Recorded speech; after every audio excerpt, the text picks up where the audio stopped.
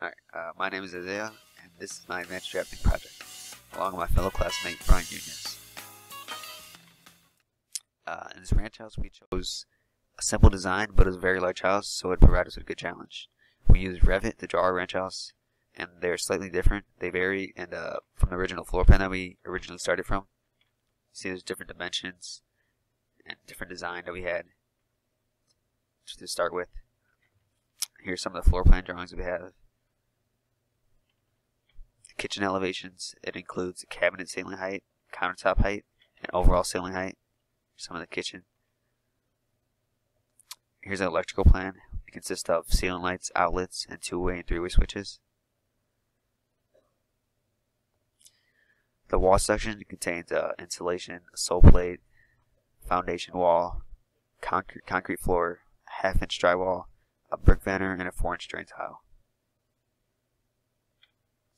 The room legend it involves uh, basically illustrate where each room is located, patterns of different colors. You can see it's a key to where to make it easier for you, I guess. In the first floor plan, it includes dimensions of the perimeter, a two-dimensional diagram of the house, objects and furniture, section views, and labeled areas.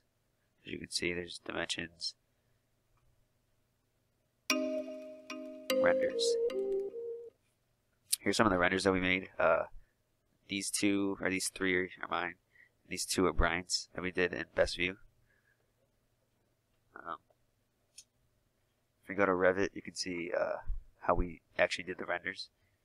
So we let's just say I wanted to go from the right side. You just place the camera, expand it, and then you'd adjust it how you uh, think it's best. You go to view, you'd render it.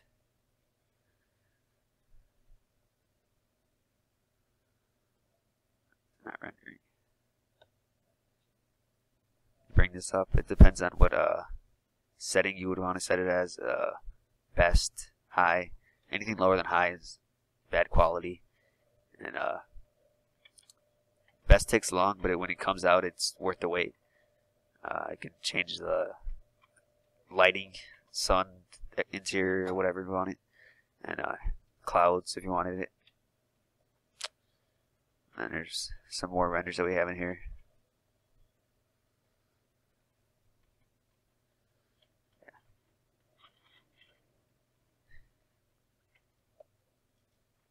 Alright, Revit City and Autodesk. Uh, it it basically helps you find like things that are made by companies such as bathtubs, doors, toilets, lights, cars. Our Revit City is more like a upgrade, more detailed things such as cars, basketball hoops, and custom cabinets. You can see there's Lamborghinis and cars and stuff in here in the renders, and you would uh, basically use it by. Let's see. Okay, so let's say you wanted to find an Xbox or something. You search it, and you find the one you wanted. Alright, let's say you wanted this one. So you just download it, insert it into your uh, Revit project, and place it wherever. So then it come out turning like this. Go into Revit.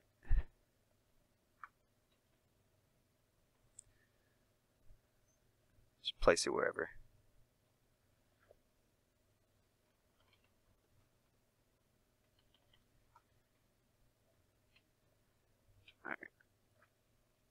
And materials and paint. This tool allows you to paint over whatever you desire. So if you wanted to, if you had a white wall and you wanted to paint it black, do so. Uh, you can create your own material. So it's whatever you don't find, you want to make a new one, just duplicate it, make a new material. So if you go into Revit, you'd go to modify go to your paint tool.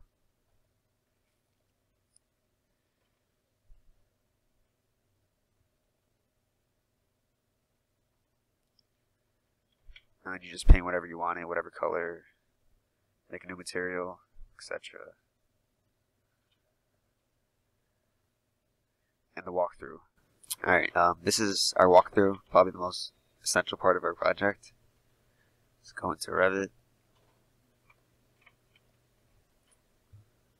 Start with outside of the house. Yeah, trees. And then there's a, uh, we have a little poolside patio, lawn chairs, table set up, and a little fireplace over here. And orbit around. And then we have the glass house. It looks better when it has a roof on, but you can see has a little table set up, chimney, etc., etc. Alright, going to the garage.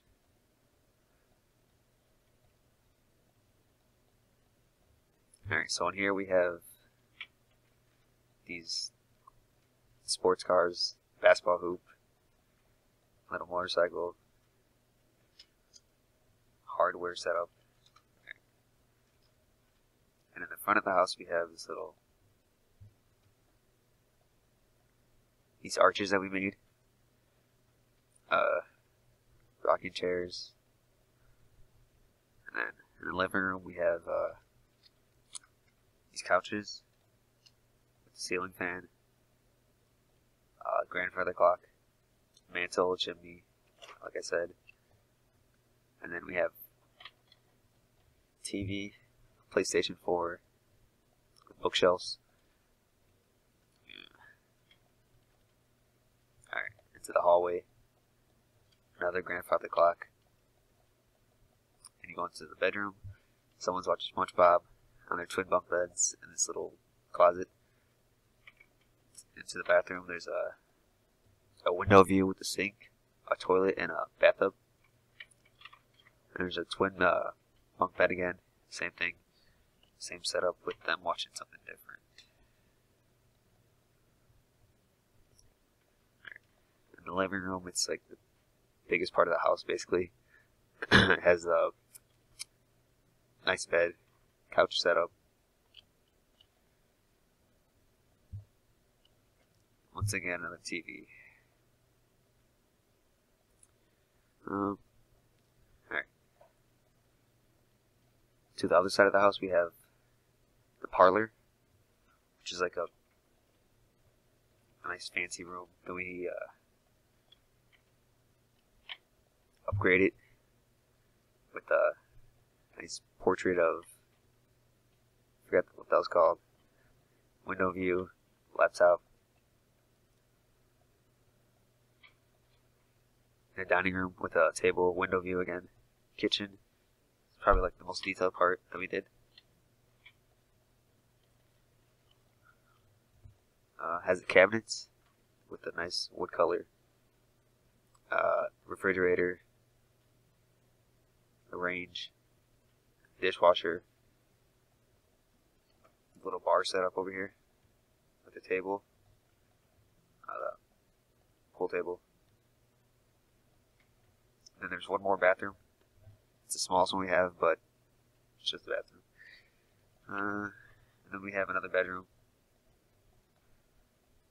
Not much in there, but right. over here we have the dishwasher, not the dishwasher, uh, the washer and the dryer. Uh, that's pretty much our house. Alright, this is our last slide, the works cited page with uh, all of our information we have on here. Uh, thanks for watching.